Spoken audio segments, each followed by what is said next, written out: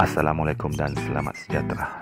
Dalam vlog kali ini kami berada di dalam bangunan It's a Small World Disneyland Hong Kong.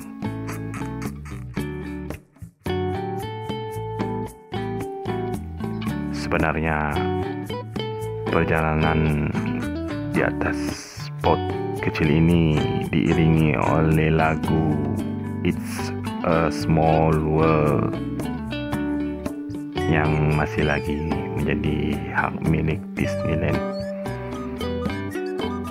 Maka terpaksalah lagunya di mute.